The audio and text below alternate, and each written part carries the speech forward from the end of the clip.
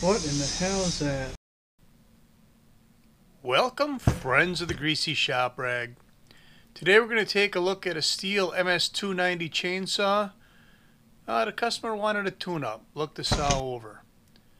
So the first thing we do is look into the fuel tank and sure enough we find some water in there. Take a close look here, you can see the, the puddle of water moving around in the bottom of the fuel. So I know right away that this is going to get a carb rebuild. But we'll look the rest of the saw over, you know, and uh, don't you just love it when they bring it in with bird crap all over the top of it? Nice, huh? Yeah. Zero F's were given about the maintenance of this chainsaw.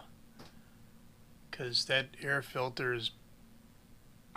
I may be the first one that ever looked at it. Spark plug's been in there for a while. So it's due for a tune-up.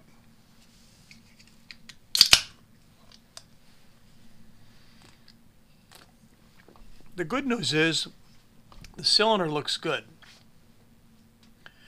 So we're going to gap a spark plug, or at least check the gap on a spark plug. And uh, get that installed. I kind of paused there Click. for a minute because my camera moved on me and I just realized my gimbal battery went dead.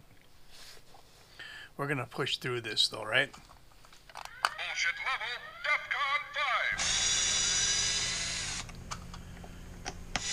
5. Okay, so we're going to pop the starter off of here and we'll blow out all the debris that's in there and we'll check the armature air gap on the ignition module. Then we're going to look under the other side and see what there is to find.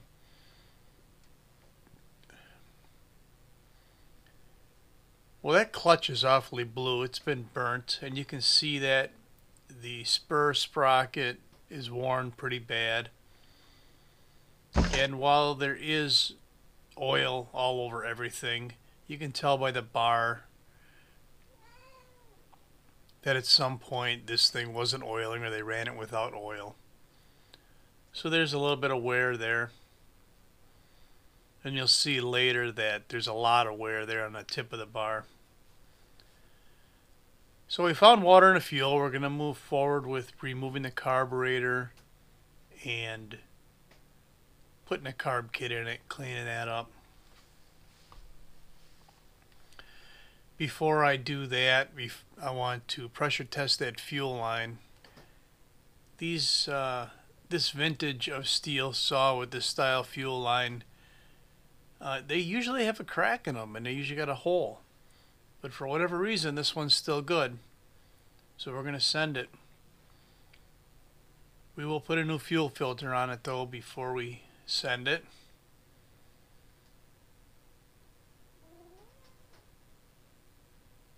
Now that we have uh, tested our fuel line and replaced our filter, we're going to remove the carburetor.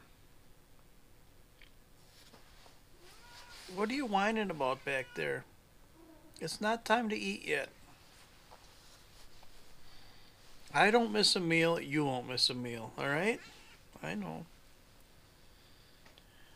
Alright, we're struggling a little bit, but we're getting the carburetor off of there.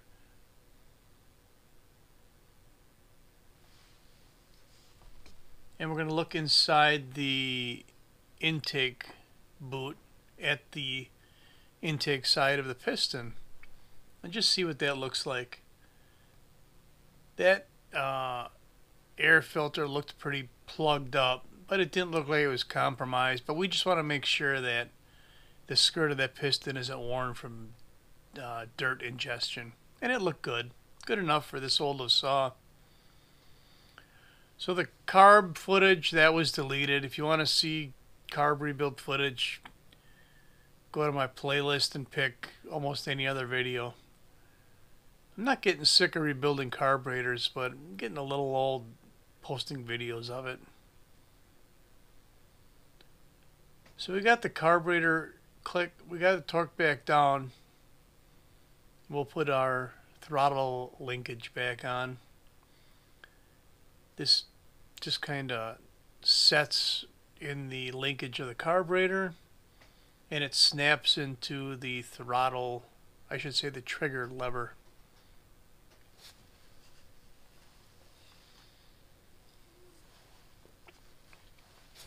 This style Stihl chainsaw has always been really easy to work on.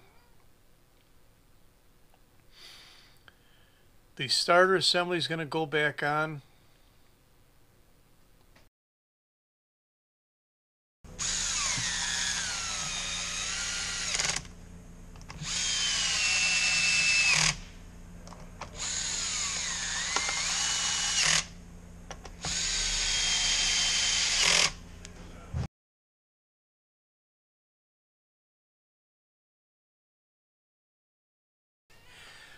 All right, we'll dump some go-go juice into this bad boy and then uh, roll it over and take a look at that clutch side. So things look kind of burnt under there. The springs, they look okay. We're just going to let that slide. We do have a new clutch drum with a spur sprocket on it. We're going to put some grease on the end of the crankshaft. And we're also going to grease the clutch bearing.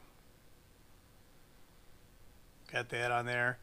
When you install this drum, you need to take a look at this little notch that's on the drum.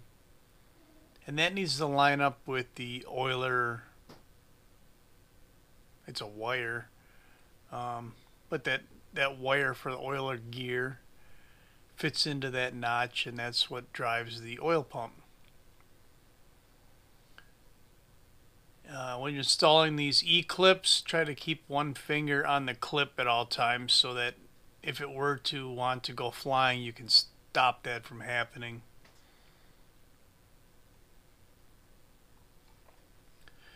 So check out the tip of this bar. That thing is roached big time.